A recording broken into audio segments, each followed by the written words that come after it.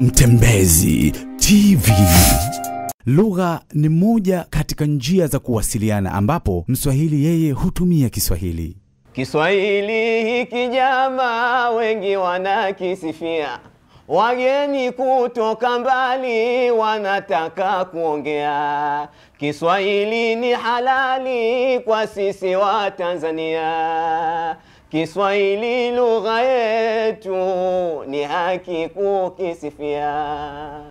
Uh, Waswahili lugha yao ni Kiswahili, uh, lugha Kiswahili.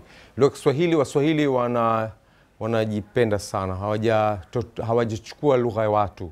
Toka mwaka 100 AD wanatumia Kiswahili hicho hicho, na watu wengi walishindwa, kama Maportugizi walikuweko, walikuweko Waingereza, Waarabu, mpaka leo wanatumia Kiswahili, walishindwa kuwafanya waki watumie lugha za, za nyingine, watumie Kiswahili ingawa alitotoa Sehemu fulani ni maneno ya Kiafrika ya Kibantu na sehemu fulani ni maneno ya Kiarabu, na mara moja moja unapata maneno machache ambayo ni ya- ya- ya lugha nje hiyo, kama Kiportugesi, eh, Kireno, unapata neno kama kasha ni, ni, asili yake ni la, la Kireno. Nanasi asili yake ni neno la, la, la Kireno. Kwa machache yapo ambayo si ya Kiarabu wala sio ya Kibantu, lakini ni, ni, ya ki, ni lugha za nje ambazo zinatokana na watu wa zile nchi za nje kuja ku, ku, kutana na watu hapa. Kuna tanyu wa Portugesi Wareno walikuwa ni watawala hapa, kwa hivyo wamewacha baadhi ya maneno yao.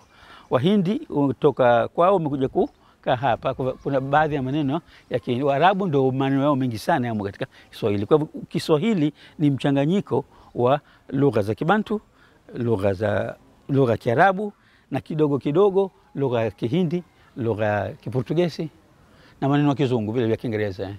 kama friji, skuli, manjano, manjano, nanasi, yote ni ki, ki, Kireno wametumia wame, wametumia.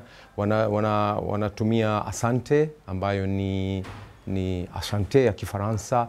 Wametumia maneno mengi ya Kiarabu. Kiswahili sana kimeshika kime- sana kia Kiarabu. Lugha ya Kiswahili, lugha ya Kiswahili si Mswahili. Lugha ya Kiswahili ina nguzo tano, na akizitimiza Mswahili hizo nguzo tano ya lugha za Kiswahili, basi atakitumia Kiswahili mahala popote anapokwenda uswahilini bila ya kupata tabu.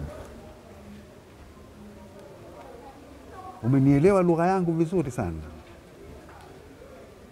Nguzo tano za Kiswahili. Nguzo ya kwanza ni kijua kia, Kiswahili lakini cha Kiamu cha Kigunya, ambao Wagunya wana lugha yao ya Kigunya lakini wana na Kiswahili chao. Hii ni nguzo ya kwanza. Nguzo ya pili ya Kiswahili ni Kimvita.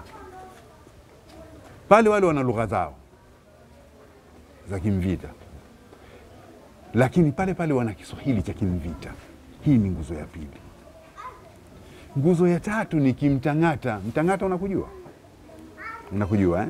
Basi Mtang'ata nao wana lugha ya Kiswahili, lakini pia wana lahaja zao za Kimtang'ata, lakini wana lugha ya Kiswahili chao ambacho kinaambatana katika hizo nguzo tano.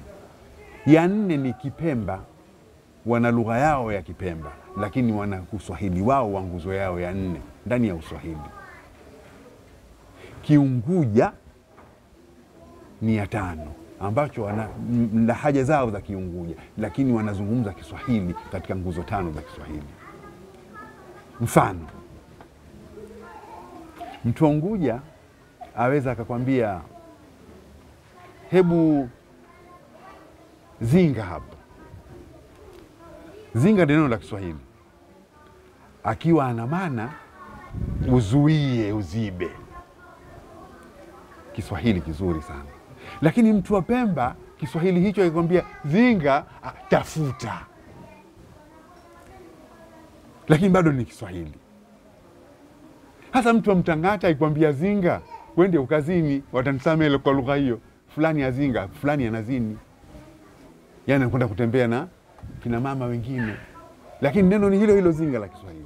Sasa kwa, kwa nini watakiwa uzijue nguzo tano? Ili ukiwa Tanga mtu akwambia fulani kenda zinga, utaharaki kuwa hakwenda katika tendo zuri, iwe watakiwa ulijue hilo.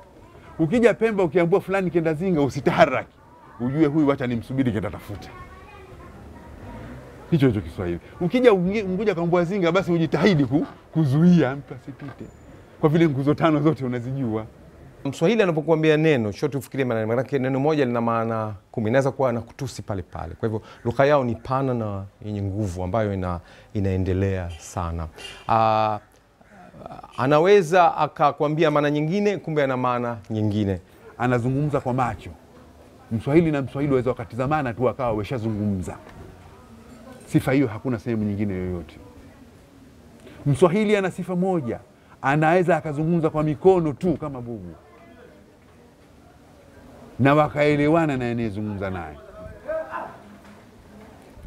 Mswahili ana sifa moja, anaweza akazungumza kwa ulimi tu na Mswahili mwenzie. Anatokea Mswahili mwenzie, wanataka kumsema tayari Mswahili kashazungumza hapo. ana misemo ana, ana dasturi anakuzungumza, lakini sana anakuzungumza kwa kanga anaweza kusema kwa kanga kwa mashairi kwa mafumbo ana, ana, ana hakwambii mara moja ni ana usiri fulani Mswahili- kwa hivyo neno lake unatafsiri mara mbili mbili. Unaweza Mswahili akatoka ukaja ukasema naye ukasema naye ah, kiasi. Akwambia hivi hivi kiasi, leo uzungumze hivyo, kisha kutukana kupita kiasi, maanake anakujua A to Z. Tangu utoto wako, mambo yako machafu uliokuwa ukiyafanya, kila kitu. Leo unakuja kunitukana mimi. Kiasi. Sasa ile kukwambia kiasi ufanye hivyo, kisha kumaliza. Pia anaweza kukukebehi kukufonya kukuita kukutania. Amejaa matani sana. Kwa hivyo unapozungumza mswahili uwe na hadhari sana. Lile neno unafikiri anakusema vizuri pengine anakusema vibaya pengine anakusema vizuri kwa hivyo time yote kunakuwa na ta- ta- tashbih na uh, yeye mswahili ana anaringa na lugha yake anacheza kwa sababu ni lugha pana ametamalaki huku na huku, kwa hiyo ana haki ya kujivunia uswahili wake. Kama anajijua, lazima ajivunie uswahili wake. Na kwa nini ajivunie uswahili?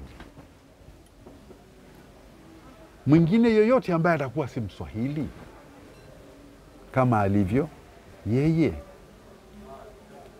wadhani ni nini atachokijivunia? na yuko yeye yeye tu. Mtu unajivuna unapoapatana na, na kingine, ndipo pale unapojivuna. Kwa hiyo Mswahili anajivunia hilo, kwa yeye ni Mswahili kama anajijua. Mswahili yote mwenye kujijua lazima ujivunie Uswahili. Mswahili yote mwenye kujijua lazima ajivunie lugha yake ya Kiswahili. ni lugha pana. Imetotoa kiarabu kihindi uh, ki, kiirani yani ki, lugha nyingi ambazo zimeingia ndani yake. Mpaka kichina ndio hii bogbog buibui yani wamechukua kama pilipili ni kikorea. Kwa hivyo tume, tumehusu kabila nyingi wanatotoa lakini wanabakisha kile kile kiswahili. Waarabu wameshindwa kuwafanya waswahili wazungumze kiarabu kama wazungu kama wareno ni watu ambao wanajisikia uh, kama kama watu wa daraja la mwanzo Mtembezi TV.